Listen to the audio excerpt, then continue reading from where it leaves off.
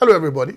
Welcome to Experience Jesus with AVJ, Apostle Victor James. I'm excited and I give thanks to the God and the Father of our Lord Jesus for giving us another opportunity to be able to fellowship together and break the bread of life together. And you and I know that this bread of life we break regularly on this channel is the Lord Jesus Christ of Nazareth. Amen. All right, quickly, two announcements, two quick announcements.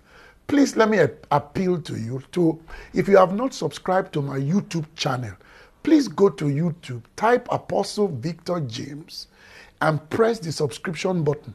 I will be so encouraged if you did that. Thank you for telling others as well.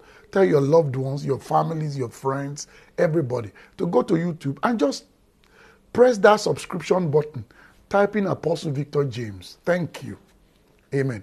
Now, second announcement the Lord has um, called me in this generation to mentor ministers, believers, men and women, and uh, provide, by the grace of God, spiritual covering, you know, for as many as He's sending to me. And believe me, the Lord has sent to me so many from all over the globe, from everywhere in the world, and right here in Nigeria, and specifically in Lagos. And we meet every two Mondays. It is called AVJ Jesus Gospel Ministers Fellowship. I pastor that fellowship personally. AVJ Jesus Gospel Ministers Fellowship. We meet every two Mondays. I mean, you just need to attend one for you to see the kind of dimension the Spirit of God takes us in the Word, in prayer, and in um, in in fellowship you know, you need to be a part of it. In these last days, don't walk alone.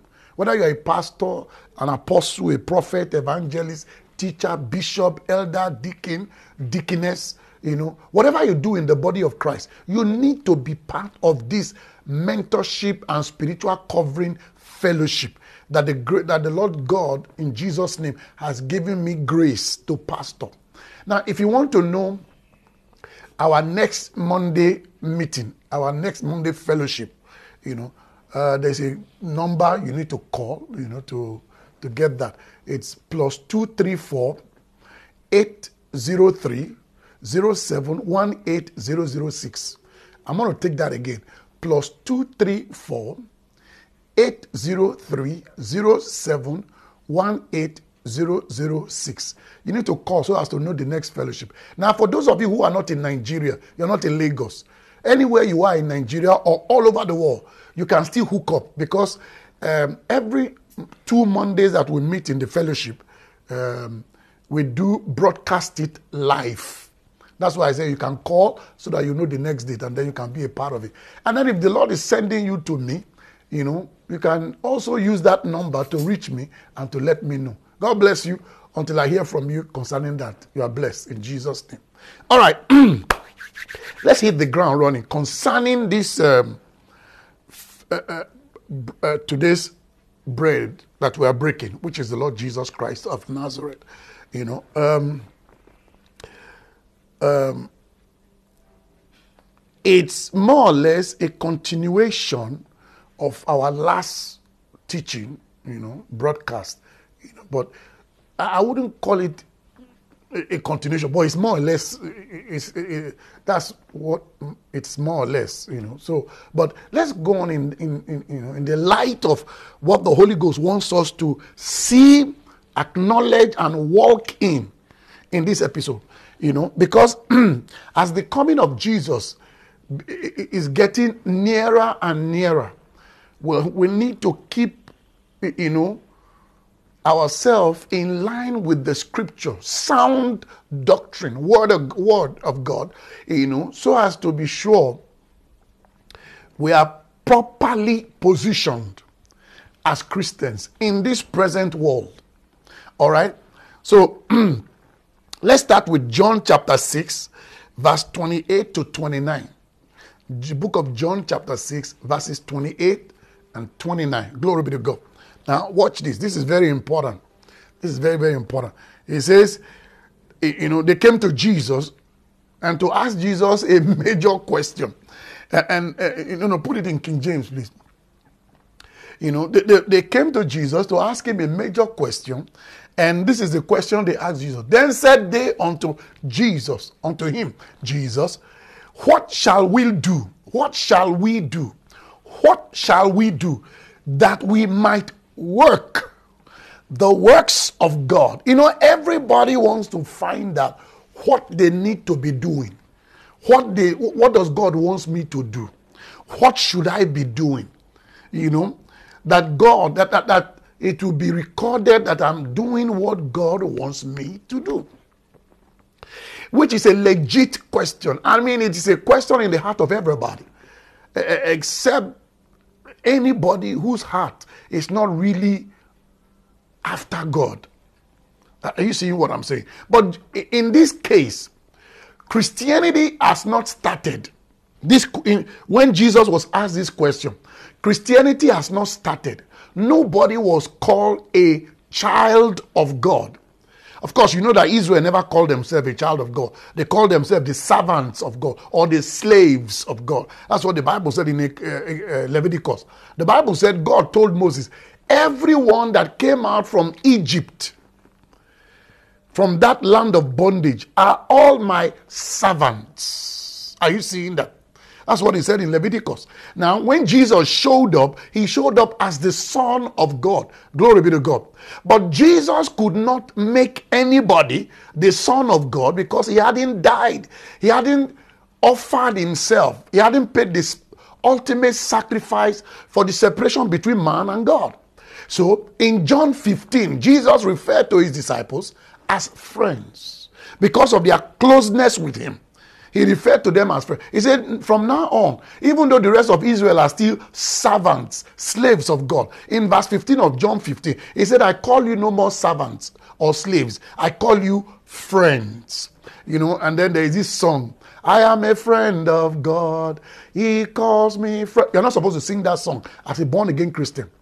That song is not for the people of God because after Jesus paid the price for sin, after his death, burial, and resurrection, the Bible said in John chapter 1, verse 12, as many as received him by believing in Jesus, he did not give them the power to become the friends of God. But guess what? They became the sons of God. Glory be to God.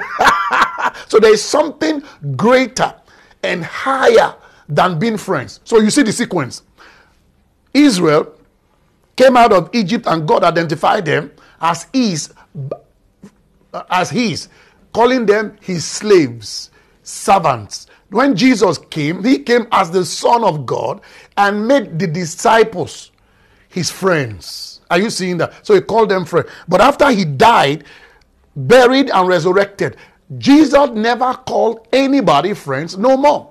He gave them power, the privilege, and the right to become the sons of God. So in Galatians chapter 4, the Bible now said from verse 6, 7, and 8, he said very clearly, because you are sons, because you and I, we are not just servants of God or slave of God, we are not friends of God. He said, because ye are sons, God has sent the spirit of his son into your heart, crying, Abba, Father. Are you seeing that? All right. So now that you are a son of God, because Jesus was trying to answer them here very specifically. You know, okay, I've explained that in John uh, 15 15. Henceforth, I call you no more servants. You see that? He said, For the servant knoweth not what the, uh, the, the Lord doeth, but I have called you friends. You know, so in John 1 12, like like I said, you know, uh, that let's just rush along so that I, I, won't take, I just decided to just say that real quickly, you know. All right. Now that you are a son of God, or let's go back to that John first, that John chapter uh, 6, the question that Jesus was asked, you know, John 6, verse 28 and 29, because we need to understand it in context. Are you seeing that? It needs to be understood in context. So they asked Jesus, What they said unto Jesus, What shall we do that we might work the works of God? Now, this is an unbeliever that is asking. This is somebody that is not born again, or people who are not born again, who are not children of God that are asking. So Jesus said in his response to them in verse 29, put verse 29, He now says, look at Jesus' answer and response to them. Jesus, Jesus answered and said unto them, This is the work of God. Answering their question, that you believe on him whom he had sent. So Jesus made it very clear. God's work for anybody that is not born again, his work is that you should believe.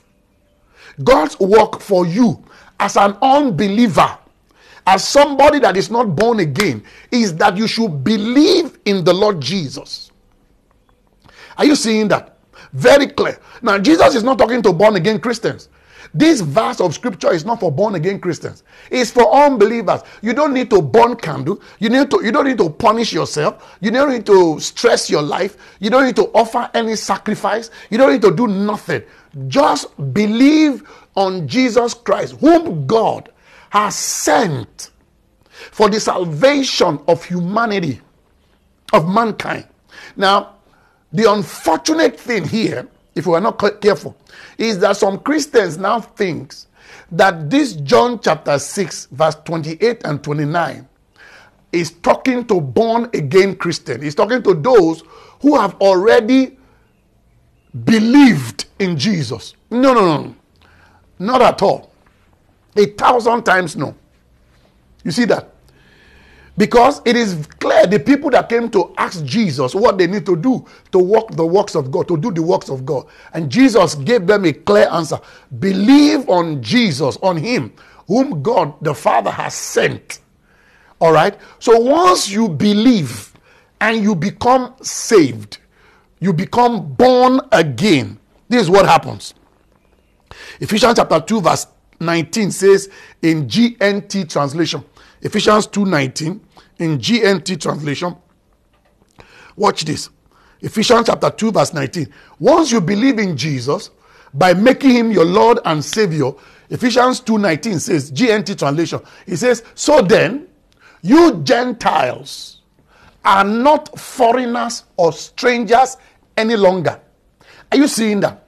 You are now citizens together with God's people and members of the family of God. So once you accept Jesus as your Lord and Savior by believing in Jesus and that God raised him from the dead, you become a member of the family of God.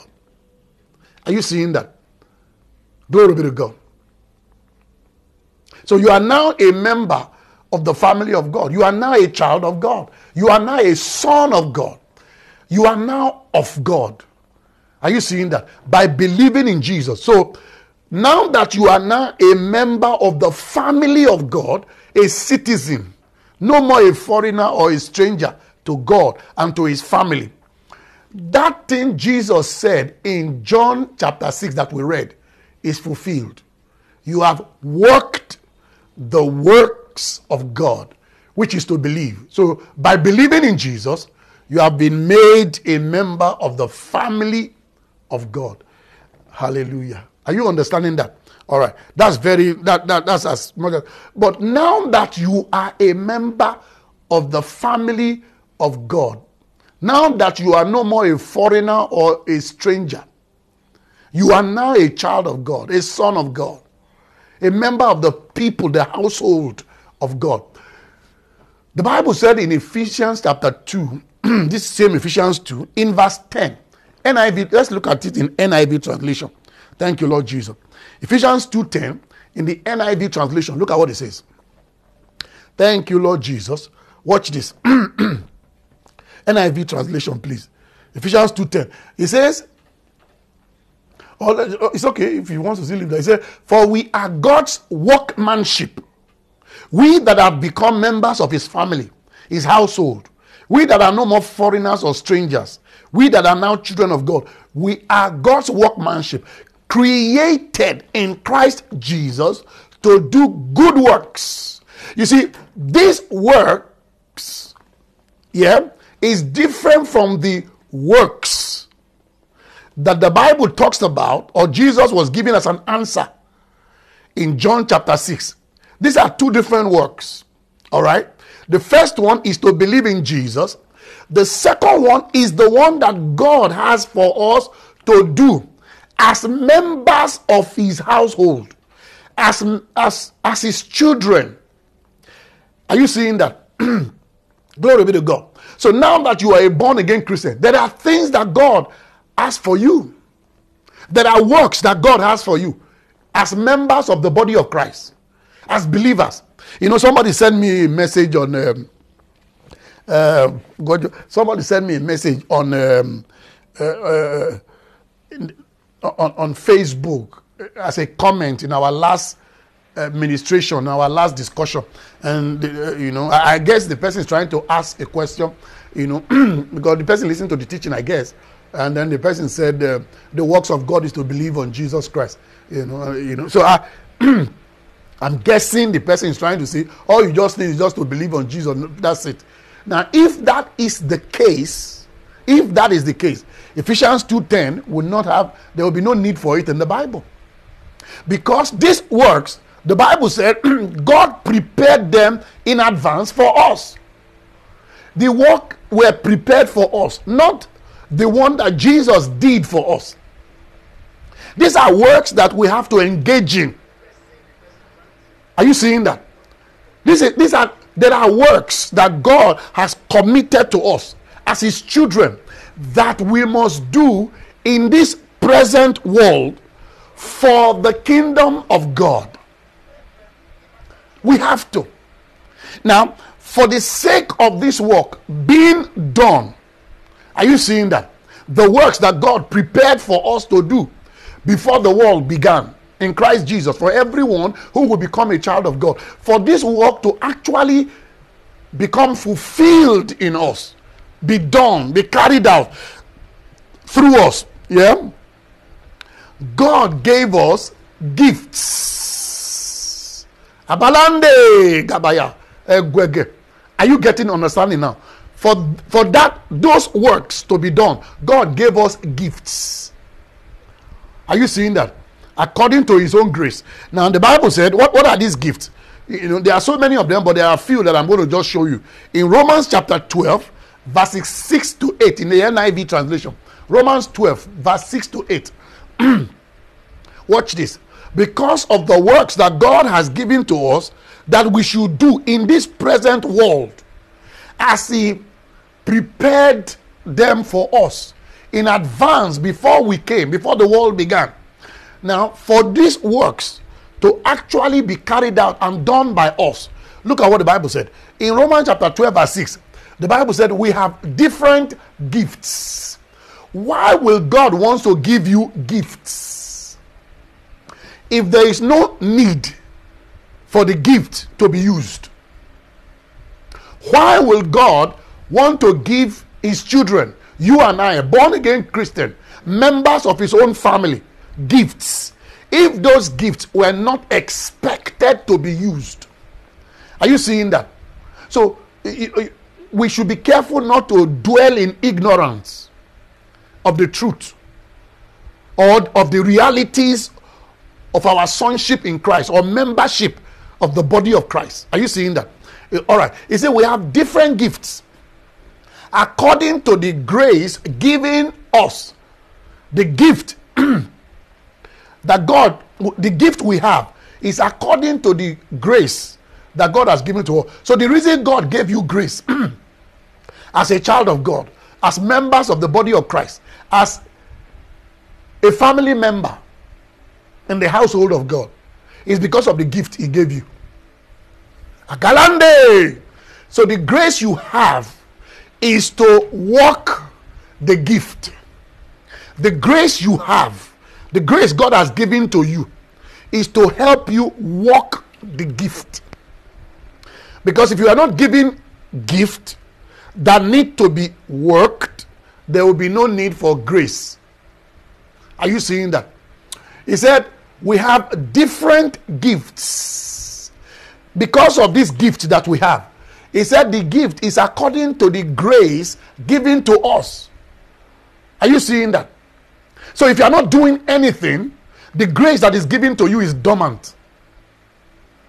That's what the Bible says Woe to them who are at ease in Zion.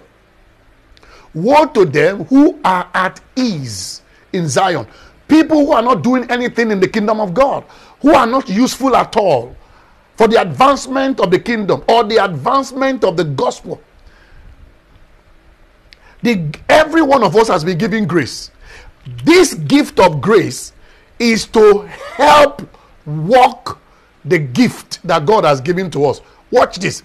He said, We have different gifts according to the grace given us. If a man's gift is to prophesy or is prophesying, he said, Let him use it in proportion of his faith. If the gift you have received from God is to prophesy, the reason you are giving that gift is because there is a grace on your life to work it, to prophesy. All right. Look at the next one, verse 7. Woo, glory be to God. I feel excited because this is powerful. Verse 7. If it is serving, are you seeing him? If the gift God gave you is to serve, don't try to be a leader because the grace on your life will not respond or work. It's not activated until you function within the gift that you are given. Because the grace that God gave you and I, it is targeted at enhancing, enabling, and working the gift. So he said, if your own is to serve, if the gift God gave you is to serve, the reason he gave you the gift to serve is because the grace you have is to make serving effective, profiting, glorious, precious, easy. Are you seeing that? So if you if you left serving into being a leader of some kind, are you seeing that? That grace on your life will become dormant, will become useless. That's why you see that a lot of Christians are suffering. A lot of Christians are miserable. A lot of Christians are going through all kinds of pains and hardship. You, you see, according to God, yeah, or, or let me let me backtrack. According to the scripture, the reason a woman was created. Now, this is not targeting anybody. I'm just trying. I, I think the Holy Ghost just brought that in my spirit right, right now. The reason a woman was created was not primarily for God. Of course, that's part of it. The reason a woman was created was to be a helpmate for the man. So you see, what God, the grace God put on a woman is to service the man. So when a woman refuses to serve the man, yeah, the grace on her life become dormant. She begins to struggle. She begins to have inner frustration. She will fight. She will quarrel. She will nag. She will destroy things.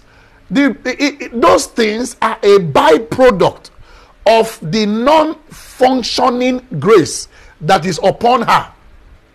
Very simple. I would to God you understand what I'm talking about.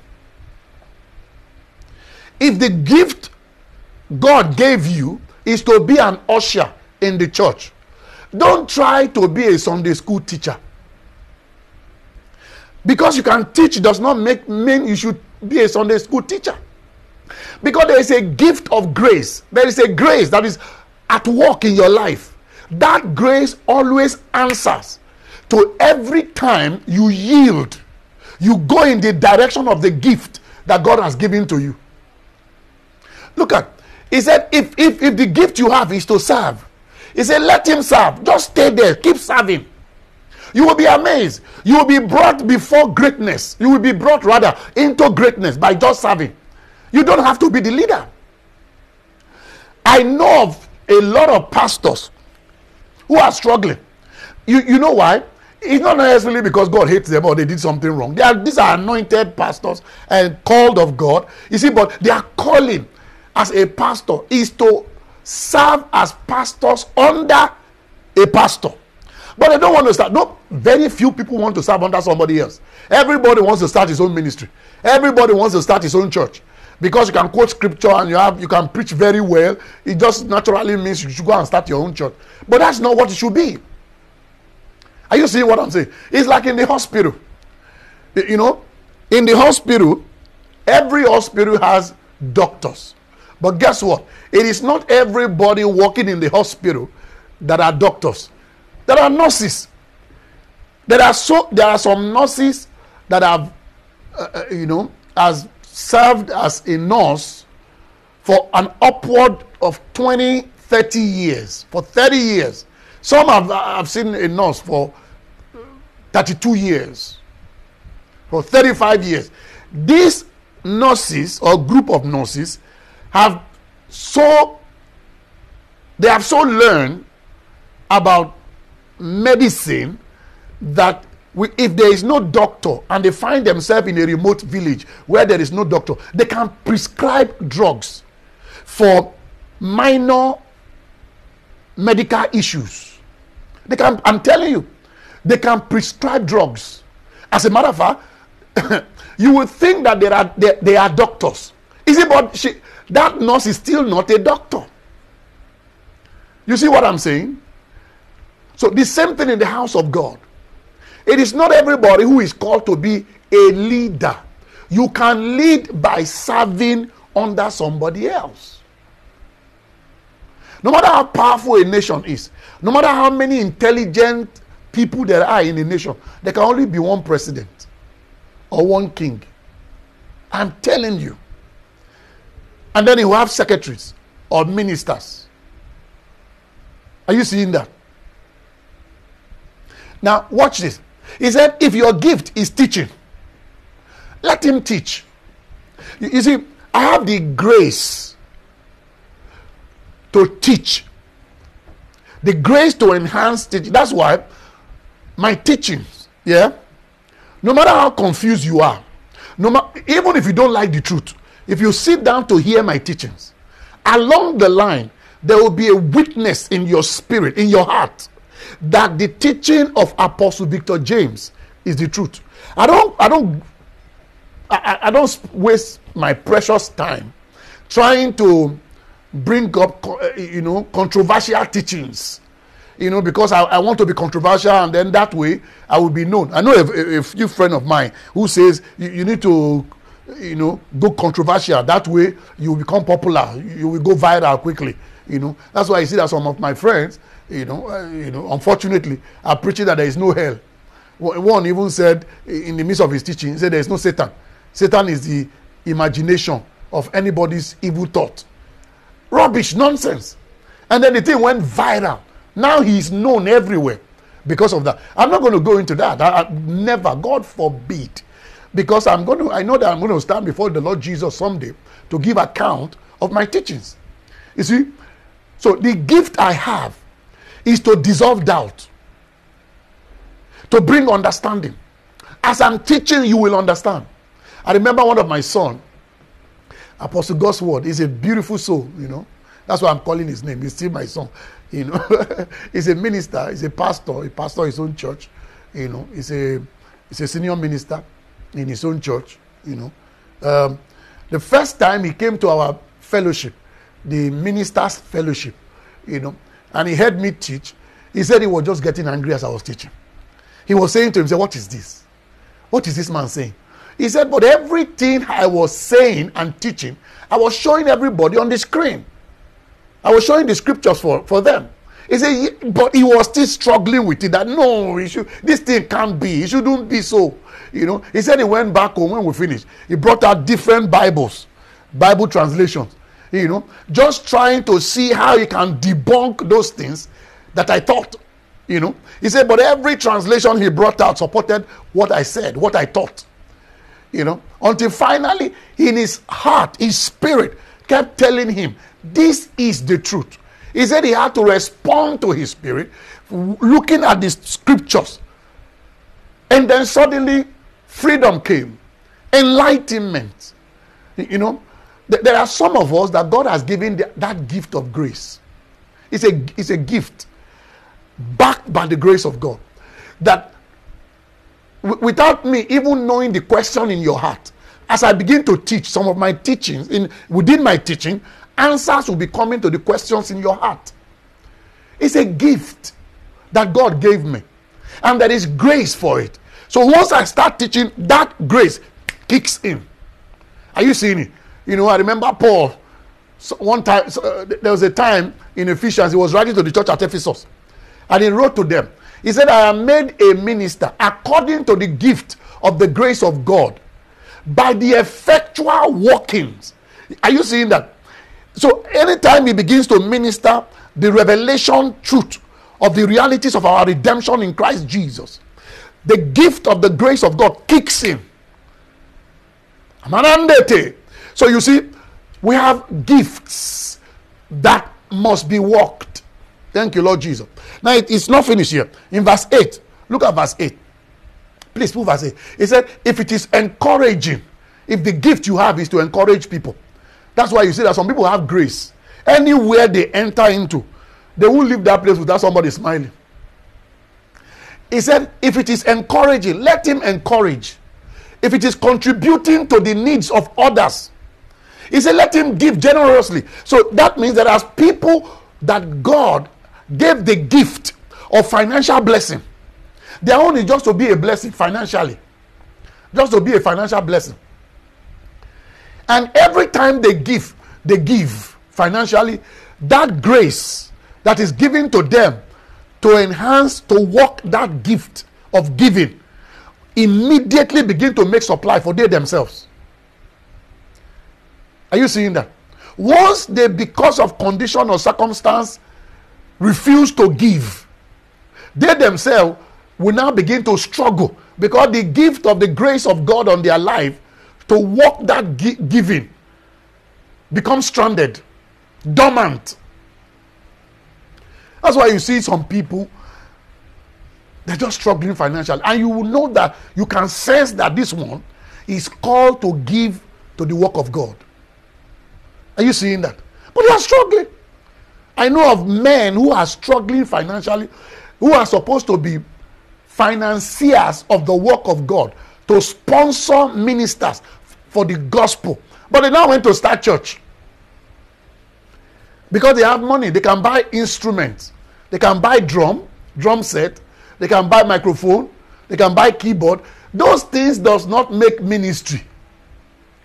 It doesn't. What makes ministry is the grace that is operational on your life. The grace of God that is at work in you. Because that grace will service the gift God has given you as a member of the family of God. Thank you, Lord Jesus. Are you seeing that? You, know, so it, is unfortunate how a lot of Christians do not understand, you know, that we all have grace. And this grace is targeted at enhancing, working, doing, assisting, helping the gift, the different gifts that God has given to every one of us as members of the body of Christ. Thank you, Lord Jesus. If if you are not a pastor, if you are not pastoring a church, but you have a job, whether it's nine to five, or you have your own personal private business, or you are joining with somebody to do business, the reason you have that job or you are doing that business and making money, yeah, the primary reason is not just for you to have money to buy the whole world. No. The Bible said to have food to eat and clothes to wear, be satisfied. And then you have where to lay your head to sleep, be satisfied. Contentment is the bedrock of Christianity. The rest is for you to you to have where to take money to help service the work of God. The work of God should never suffer in your lifetime. I'm telling you, no matter the revelations you have, no matter the level of your knowledge, no matter the level of the grace of God upon your life, the work of God should never the work of the ministry should never suffer in your lifetime. In, you should never. Anybody the Lord has called into the ministry to preach, to teach, you should make yourself available to help them financially. You know, I said this in our last broadcast.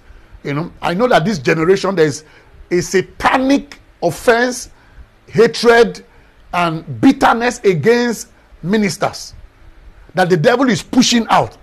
I'm not going to shy away from that.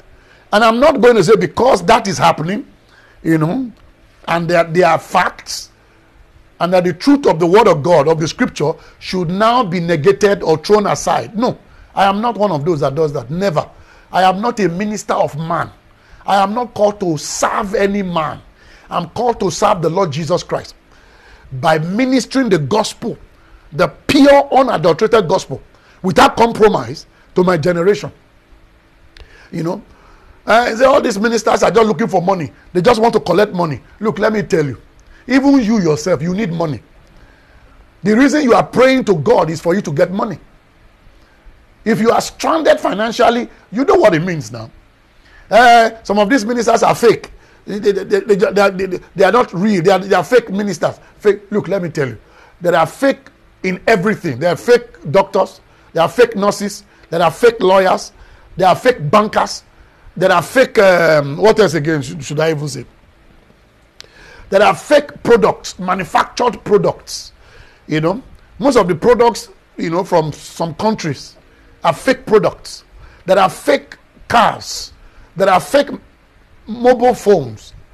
You know, that, that, name it. There are fake television sets. There are fake wristwatch. You, you know, some Rolex wrist, wristwatch, you know, are sold for hundred thousand dollars. Some are sold for two hundred and fifty thousand dollars. Yet you can find wristwatch Rolex sold for five dollars. Uh, is that not fake? So, so you can't say that because there are false brethren, because that's what the Bible calls them, false ministers.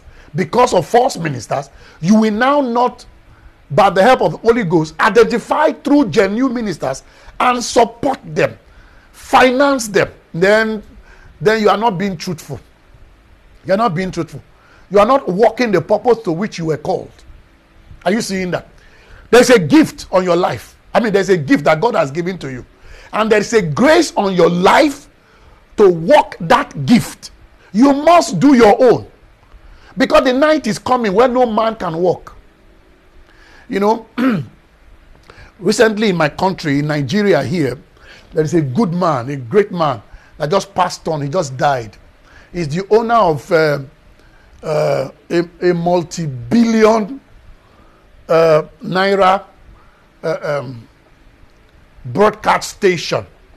You know, High Chief Raymond Dokpesi, good man. I mean, there's testimony everywhere. People are saying how he has helped them, you know, got them job. You know, he was the first person to start an independent, independent broadcast station in Nigeria. As a matter of fact, in Africa. You know, if I'm correct, you know, good man, great man, done himself a you know a, a good name, but he just passed on. He died. Guess what? He died without taking a dime of those things with him.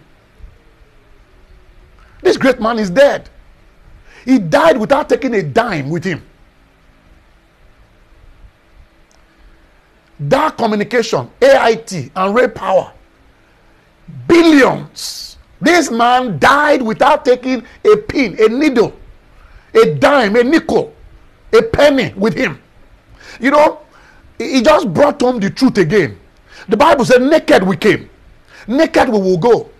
But guess what? What you will go with, what you will go with is yourself and the, the amount or the level to which you allow the grace of God on your life to service, to work the gift that God gave you. That's what you will go to give account to Jesus for. Don't follow this generation. This generation is confused. This generation is perpetually in confusion. Their heart and mind is dark. Darkness has filled it. They would rather buy Mercedes Benz, live lavishly, show off their wristwatch on social media, go and buy neck chain, you know, big bogus neck chain like a dog, put it on. One, can you imagine? Somebody will wear five neck chains, five fat neck chains, gold, as heavy as they are, and he's looking at himself in the mirror. He's feeling good. That's the that's the sense of slavery. That's somebody that is, you know, a slave of his or herself. You know, you are looking at, there's a man I saw, I saw on Instagram.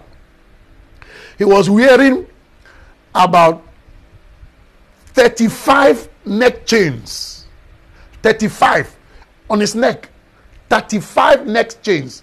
Then he had 50 bangles on his right hand and 50 bangles on his left hand and two wristwatches.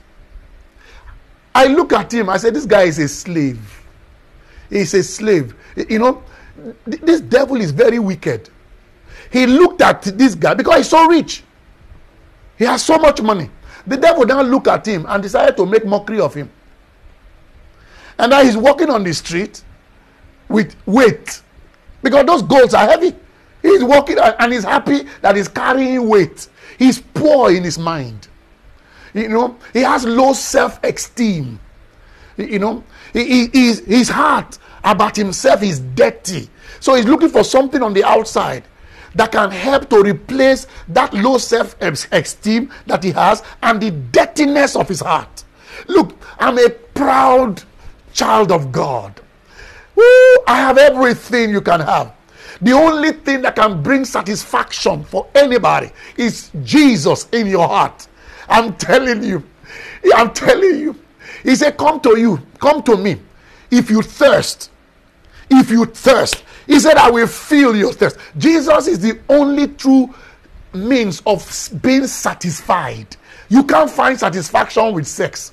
You can't find satisfaction with cars. You can't find satisfaction with money. You cannot find satisfaction with traveling abroad. You can't find satisfaction with eating food. There is nothing you can physically do to feel the yearning and the satisfaction of your heart. The only true way to be satisfied is to have Jesus. Woo! A man that has Jesus has everything. A woman that has Jesus, woo! Abadayande. The Bible said they grumbled and they murmured unto God. Then he gave them the desires of their heart. But he sent leanness into their soul. Even though they had their physical desires, the emptiness in their heart killed them. That's what the Bible said. The emptiness, the void in their heart killed them. Gasata. Some of us have we have come to the place of satisfaction. We have come to the place of fulfillment. Paul said, whether I have or not, I have learned to be satisfied because Jesus is our satisfaction. If you are angry, anytime they say that the church needs money, the man of God needs money for the gospel. If you are offended or you are angry or you are trying to quote and unquote stay in the flow of the world, you want to identify with the world. Let me tell you, this world is passing away. it's a bitter truth. The world is passing away. Ooh, glory be to God. The world, this world as we know it, is passing away. Everybody had a date of birth. The date you entered into this world. Specifically, your parents knew the day you were coming. Because the day you were going to be born, your father, if your father was there, your mother knew you were going to be born that day. Some, in some cases, the doctor knew because they had to do CS to bring the baby out. So the day you enter into this world was known. The day you will leave, the day you will check out of this world, nobody knows. It might be as you are going out now, that's the end. You go out from there. It might be as you sleep tonight, you go out from the wall. It might be as you are eating, you go out from there. No, but I don't know when. God never gave us how to live. But those of us who are walking side by side with Him, The Bible says, Precious is the death of his saint in his eyes. we will not check out without him preparing our heart. That my son, you are about to come home. Glory be to God. Don't follow this world. I'm not saying you shouldn't buy those things for yourself. You can buy those, buy whatever you want. The Bible says God gave us all things richly to enjoy. Buy yourself houses, buy yourself cars, buy yourself clothes, wristwatches, chain, neck chain, buy yourself anything. I don't care. Buy yourself aircraft. But do not allow the work of the gospel to suffer because of you, because of your negligence. Don't do that. Don't do that. You know, there are so many ministers like myself who are genuine ministers teaching genuine gospel. Have you assisted us? Have you thought of helping us financially to propagate this gospel, to push it? If you like, send me all kinds of messages, abuse me, say all kinds of things. It doesn't bother me. If you do not abuse me, if you do not insult me for the gospel, then I'm not doing the right thing. You know, that's part of the thing that I'm going to. Persecution is part of the reason we're going to be rewarded by the Lord Jesus when He comes. So no minister should be discouraged that he's being insulted, castigated, abused, or persecuted for the truth of the gospel of Christ. You should take that with joy, man. With joy. He says you count it all joy when you fall into diverse temptation, knowing that we shall through much persecution, tribulation, trouble, enter into the kingdom of God. But a day is coming when the night will fall, and that will be it. Look, without beating around the bush, I'm going to ask you to help support us financially. I want to be able to use the gift, the grace, and the gift God gave me to push the gospel. Look, I have a, a depth of knowledge of the gospel of Jesus Christ, and I'm saying that with all simplicity. It's a gift that God, the Lord, gave me, and I have grace for it. Go and listen to my teachings. I have grace for it. I'm telling you. I want to push my gospel, this gospel of Jesus Christ, into places like Saudi Arabia, into places like Yemen, into places like Afghanistan, into places like Syria, into places like Israel. I'm telling you, into places like China, into places like North Korea. But guess what? These things require funds, it requires money. Help me. I beg you to help me. You know, you are now the one I have to beg, but I'm begging you in the stead of Jesus Christ. Don't wait until the day you have to beg Jesus. Let this serve as a witness. Let the Lord use you. Open your heart. You know, if you are in Nigeria, whether it's 10,000, 20, 50, 100, a million, send to us. Help us financially. If you are outside of Nigeria, anywhere you are in the world, you can send us $50, $100, $500, $1,000. Look, there are men who are giving their girlfriends, their side chicks, money in millions. Do you know?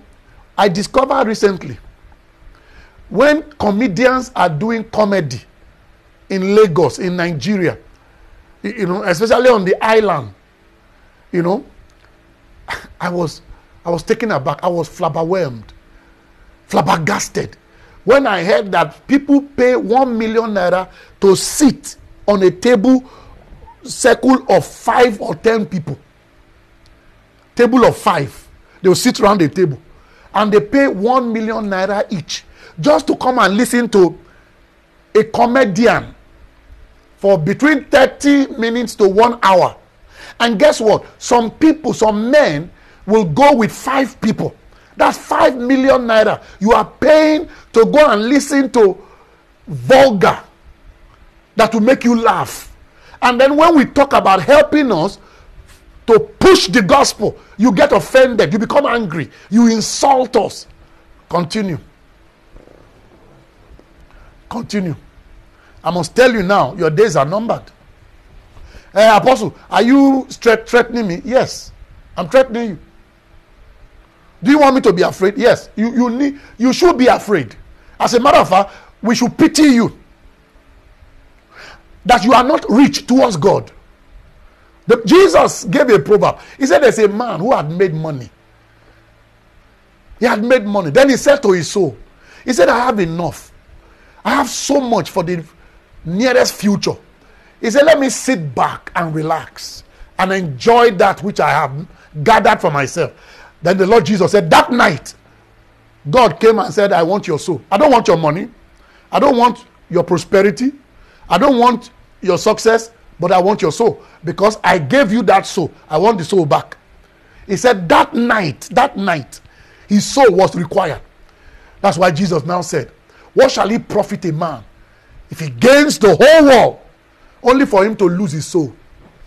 If you are an actor, if you are a musician, if you are an athlete, whatever your profession, and you are making money, loads of money, think of your maker in the days of your youth.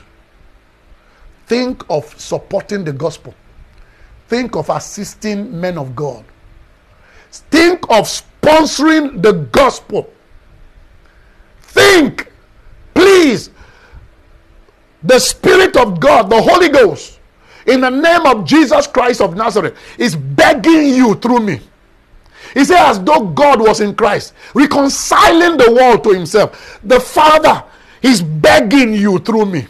Think of God. Think of Jesus. Now that you are alive, think of, I beg you, please. Think of Jesus. Please, I beg you. The time is short. Our days are numbered. Very soon, each and every one of us will pass away. We will exit this world. What will you tell him? Paul said, as according to my, excuse me, he said, according to my gospel, every one of us will stand to give account of himself. Everybody. You, nobody will escape it. I'm begging you to think. Please stop and think. I beg you, please. Stop and think. I'm begging you. I'm begging you in the stead of Christ. Stop and think of your Maker. Stop and think of your eternal eternity, where you will spend eternity. This life is a mirage. This life is but for a short time, but for a moment. But there is an eternity that is real, awaiting you and I, whether positively or negatively, whether for heaven or hell. I beg you, you got to think about God. You have to think about Jesus. Make Jesus the Lord of your life. And then apply your resources to help advance the kingdom of God. Help advance the kingdom. Sponsor the gospel. Chief, you are a chief. God has blessed you financially. Sponsor the gospel. Sponsor the gospel. I'm telling you, sponsor the gospel. The Father is begging you through me. Sponsor the gospel. You are working, you are in America, you are in Canada, in London, in Europe, anywhere in Europe. You, know, you, are in any you are in Africa, wherever you are. I beg you, you are into oil business. You, you are oil magnet. You are a business tycoon. You have ship industries. You, you, you have all kinds of things are going well for you. I beg you in the name of Jesus, stop and think of Jesus Christ and help to sponsor the gospel because very shortly you will exit the earth, you will exit this world, and you will take nothing with you. Then you will meet your maker. Oh God, oh God. Abarayanda. Woo, let me give you one more. Let me share one more scripture. You know, you don't hear messages, messages like this in churches no more. You know, everybody is being pampered and told, don't worry, everything is good, blah, blah, blah. You know, the Bible said, as much as you have opportunity to do it, do it. In Galatians chapter 6, verse 10. I say I have so many things to share, but let me just stop here. In Galatians chapter 6, verse number 10. Yeah, leave it in this NIV. Galatians 6:10. Quickly, please. Let's close here. Galatians chapter 6, verse 10. Look at it. Therefore, as we have opportunity, let us do good to all people, especially do good, especially to those who belong to the family of believers. Do good, especially to believers, especially to Christians. Do good. Every opportunity you have, use it to do good. Now, this is another opportunity. I'm going to give you everybody another opportunity. Now, don't say Apostle James is not talking to me. Uh, no, no, he's not talking to me. He's talking to somebody else. I'm talking to you. Everybody who is listening to this teaching right now, I need you to help us financially and send us financial help. I need money. I'm not, I don't lie, I don't pretend. I need money to propagate this gospel. I want to push this thing into Saudi Arabia, into these Islamic nations, Islamic countries. Are you